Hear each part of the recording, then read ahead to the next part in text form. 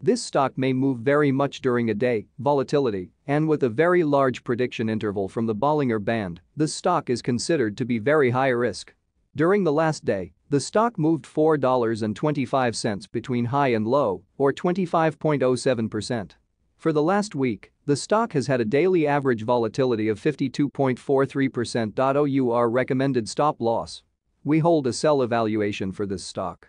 No stop loss set. High volatility in Wunong Net Technology Company Limited stock price on Friday, which ended trading at $16.98, updated on February 19, 2021. Sell candidate since 2021 02 to 16 loss minus 27.00%. The Wunong Net Technology Company Limited stock price fell by minus 10.82% on the last day, Friday, 19 February 2021, from $19.04 to $16.98. During the day the stock fluctuated 25.07% from a day low at $16.95 to a day high of $21.20.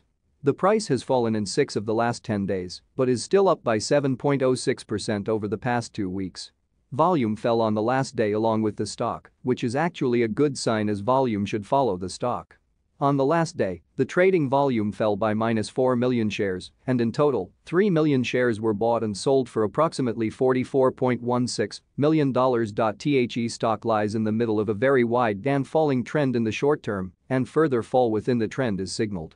Due to the high volatility and the trend direction we are not able to give forecast range for the stock. Signals in forecast furthermore, there is a buy signal from the 3 months moving average convergence divergence MACD some negative signals were issued as well, and these may have some influence on the near short-term development.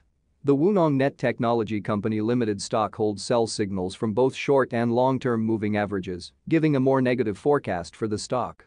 Also, there is a general sell signal from the relation between the two signals, where the long-term average is above the short-term average.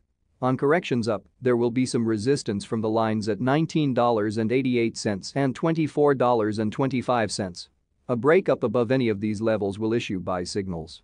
A sell signal was issued from a pivot top point on Thursday, December 17, 2020, and so far it has fallen minus 86.14%.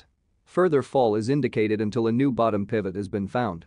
Volume fell together with the price during the last trading day, and this reduces the overall risk as volume should follow the price movements. Support, risk and stop loss Wunong Net Technology Company Limited finds support from accumulated volume at $16.89 and this level may hold a buying opportunity as an upwards reaction can be expected when the support is being tested. This stock may move very much during a day, volatility, and with a very large prediction interval from the Bollinger Band, this stock is considered to be very high risk.